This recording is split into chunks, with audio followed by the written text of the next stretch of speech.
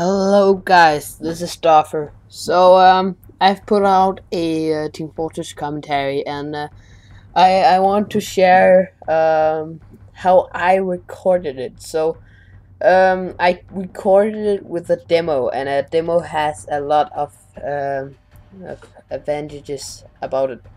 So um, recording a demo, a a demo um, is is a very small file because it um, it only works inside Team Fortress, but this can be used to uh, uh, Counter Strike 2 and uh, Day of Defeat Source. This is the way you do it in these three games. Um, you can also do it in Call of Duty, but it's a different way.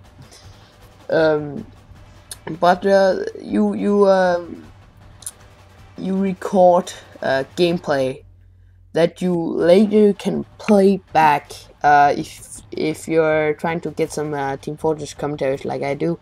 Um, this this is probably the best way to do it. So uh, let's jump right into it. So I'm just going to uh, create a server, just uh, just to show how you guys. So now we're in a game. Um, so the thing we do, we have to open a console and we say record. So this is the command to record a demo. So this is going to be the name. So let's say test demo 01. Alright? So now we record this file name. So this is going to be the name of our demo.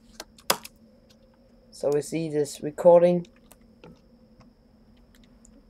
So now we are recording a demo. So this doesn't slow down the frame rate at all maybe just in the beginning it will uh, have some pop-ins, but uh, later it will, uh, will be kosher, as they say. Um,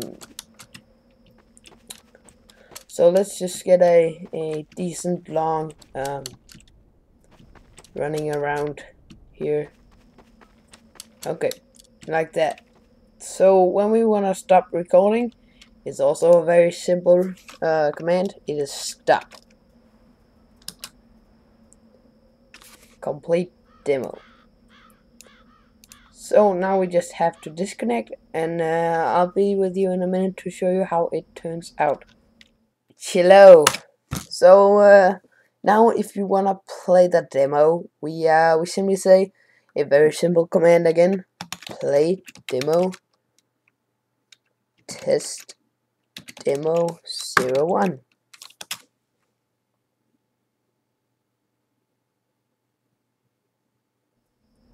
here, just like we were playing it. So a, a very good command. Uh, uh, you you really it's it's a good tip. Is uh, this demo UI. So this will pop up. Um, it's a little playback, so you can see uh, how how long you're in and stuff. That's what she said. Yes, I got it.